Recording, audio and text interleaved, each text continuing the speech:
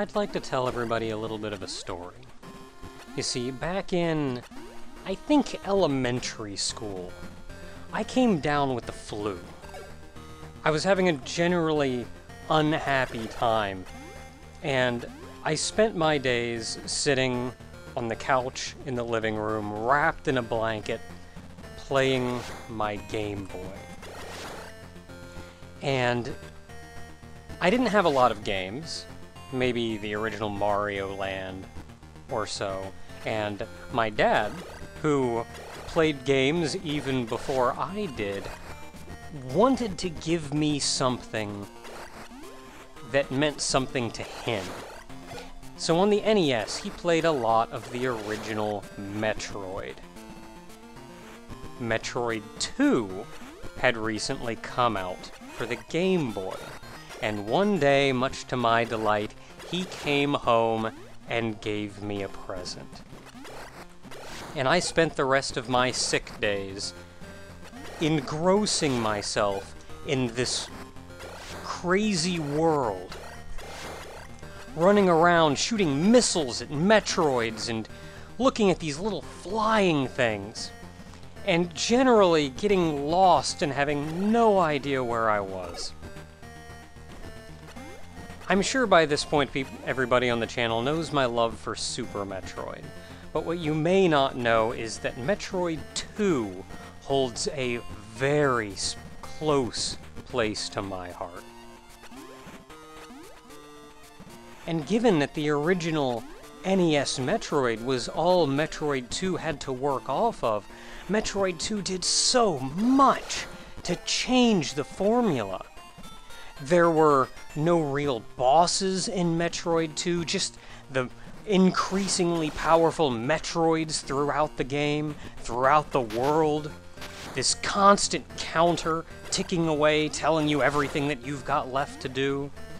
A much larger, more detailed sprite so you could see what your power suit really looked like. This is, I think, one of the first times we really saw that power suit. Look at the box art of this game, for Pete's sake. You were given much wider, broader areas to explore, no longer strictly the vertical and horizontal columns and rows that made up the NES Metroid, giving, lending itself to much more interesting mechanically interesting environments, more memorable environments. And of course, Metroid 2 introduced a number of power-ups that have since become iconic of the Metroid franchise. It brought us the Spring Ball, the Space Jump, the Spazer, the Plasma Beam, and probably most unique, the Spider Ball. Now, of course, the sad thing is, by today's standards, Metroid 2 is almost unplayable. I've gone back and watched videos and tried to play through the game myself, and it's not a pleasant experience. Your sprite is so big and so detailed, but it takes up so much of the screen that you can hardly see the environment around you. So you're very frequently making blind jumps, hitting things that were just a few blocks off the top of the screen. And of course, a camera zoomed in that far means for as little of the environment around you as you can see, it's hard to imprint a memory of where you are. Not to mention the color palette of the game. And the blocky nature of the graphics really just made everything look the same. It's so easy to get lost and so hard to figure out where you are, and you're hitting your head on everything as you turn around. For as much love as I have for this game, if any game in the Metroid franchise needed a remake, it was this one.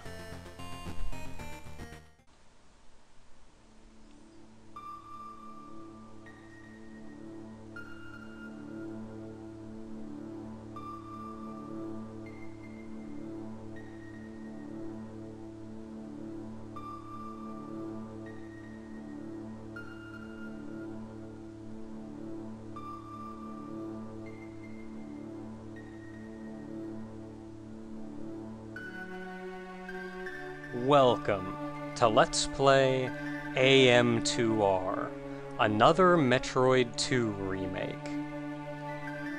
AM2R was the pet project of one Milton Dr. M64 Guasti, whose name I'm sure I mispronounced, and has been in development for onwards to 10 years now. And not long ago, on Metroid's 30th anniversary, it was officially released. AM2R is a complete remake of the original Metroid 2, updated a little bit for the times, but the vast majority of it was left as loyal to the original as possible.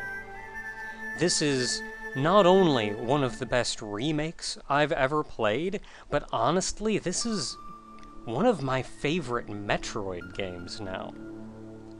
Sadly, the downloads for AM2R have since been taken down due to DMCA claims. But I would like to request the chat do not discuss the takedown, as even Dr. M64 himself has said instead of replying with hate, go get the original Metroid 2 from the eShop.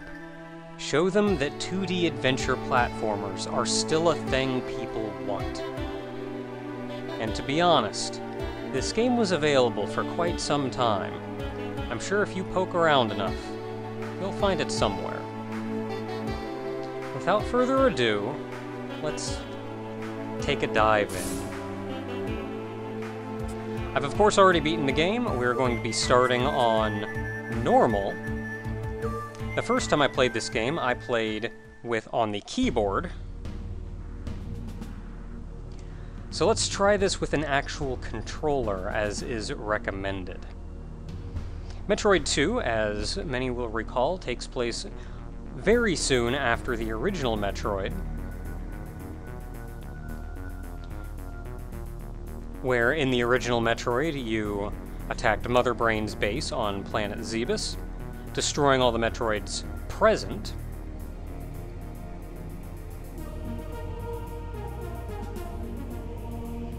And in Metroid 2 now, we're going to SR388.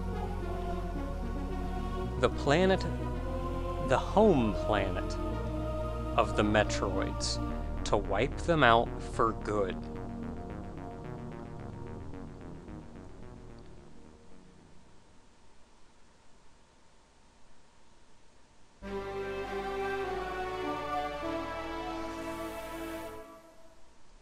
Welcome to SR388. The controls of this game, and in fact many of the graphics, were taken directly from Metroid Zero Mission, which admittedly was one of the better um, 2D handheld games. We start with very little in the way of power-ups. We do have the Morph Ball, as far as controls go, I can, I do feel like I can criticize the controls a little bit, but I can't really criticize the remakes fault for that. As the controls were modeled after Zero Mission, any fault that I find with the controls directly are more a fault of Zero Mission. Personally, I don't have a big, I don't have any big complaints, but I do feel like everything is too snappy. Like, you jump very quickly to reach your peak, and then you fall very quickly to go back down. It reminds me of one of those old, like, kung fu ninja movies where everybody's just like, pow, pow, pow, pow, whatcha! Um, kind of the opposite to this would be something like, say, Super Metroid, which is almost no snap. It's entirely fluid motion. And I don't especially have anything against the snap, but I do feel like maybe it could have been loosened up a little.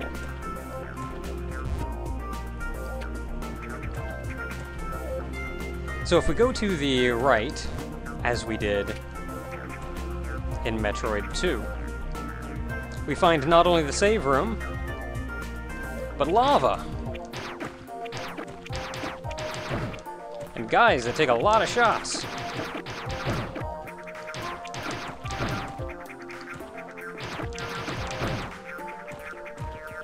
But we will quickly find that we're simply unable to progress. So we're going to have to come back this way later. So this was the pet project of Dr. M64, but he did not solely make it. Um, an, an, amount of the graphics were pulled from other Metroid games, predominantly Zero Mission and maybe Fusion. But predominantly those, a lot of custom graphics and even custom artwork was made for the game as well. Um, I imagine a lot of the enemies had to be custom made as many of the enemies in Metroid 2 are enemies that have not been in a Metroid game before or since. Hey, water! And it's actually obviously water in this game. Man, that's great. Uh, guy.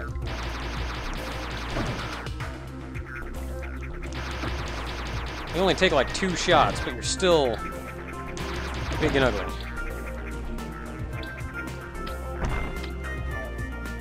Missile doors only take one missile to open up.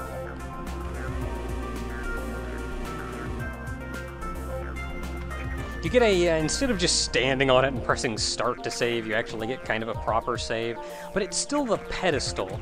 Maybe not quite the same pedestal, but it's still nice. Gotta be super careful here. Um, you also start with the Power Grip, which was introduced in Zero Mission? I think it was a I think it was a power-up you could get in Fusion. And then in... Oh dear. So, um...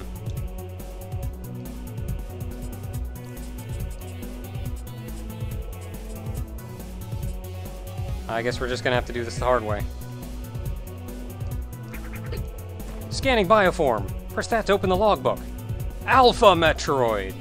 The Alpha Metroid has gained immunity to cold temperatures. The loss of several nuclei within its green membrane has left it vulnerable to concussive weaponry. A plated exoskeleton partially covers it. This organism, emer organism emerges from the molting of its larval form. Though aggressive, it is relatively weak at this stage, and its new appendages have yet to grow to their full length and strength. Now, if we... This game introduced the Metroid life cycle, the Metroid species and the life cycle. And despite that we have an Alpha Metroid breathing down our throats, I feel like this is important to mention. I see Metroid species. The dominant species of SR-388, Metroids hunt for any form of energy found in natural or synthetic organisms, leaving behind deceased husks after feeding. They are highly resistant to conventional weapons and possess great adaptability to in foreign environments. Estimates suggest a small number of Metroids set loose on a populated planet would lead to the extinction of any present life forms. As such, they've drawn much attention from space pirates, who have repeatedly tried to use them as biological weapons. And then, the big reveal, scans on the native Metroids reveal their most common form in prior incidents is merely the species' larval stage. While there are records of extreme mutations triggered by space pirates using abnormal stimuli, the Metroid homeworld of SR-388 is seemingly the only environment where the species can transform naturally. So Metroid 2 introduced the Metroid's natural life cycle, changing from its larval form and growing to something new. Hence what we have in front of us, the Alpha Metroid. You can shoot them directly from the side, but you have to hit them... There we go.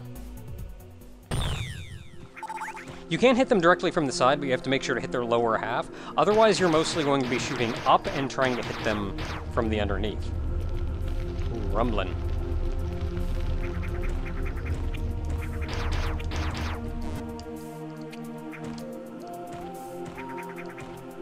Now, one thing this game added that actually helped a great deal to fleshing out the world and what's going on with it are these log entries.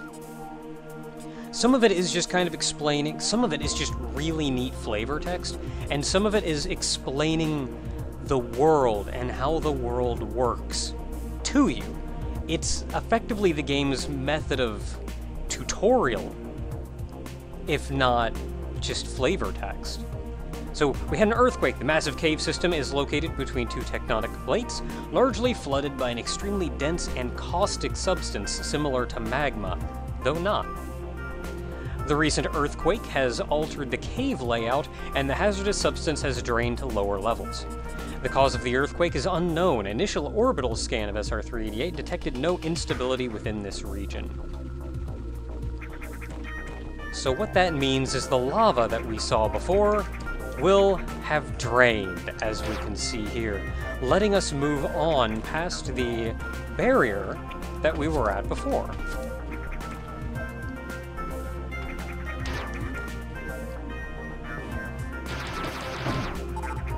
So with that, we're going to want to make our way back.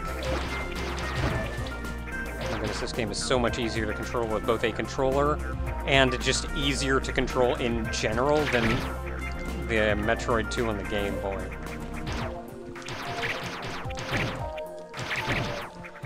Oh, speaking of the snappy nature of the game, this I suppose is one of them. Just when you're down here and you jump up. Like, you're here, and if you try to jump off the top of the screen, the camera goes, Holy crap, we gotta get up here. Whereas um, Super Metroid did something similar, but it did a much slower pan up to get to where you are instead of being quite so snappy. Really, the snappiness doesn't, um, it is personal preference that I think I would prefer things smoothed out a little bit, and even the controls and physics smoothed out a little bit, but it is a very minimal complaint over the course of this game. Um, I've mentioned already, I absolutely love this game and what it's done, and that it's let me go back and re-experience my childhood how I remember experiencing it. So until next time, everyone, when we delve deeper into SR-388 and try to wipe this planet clean of the Metroid race.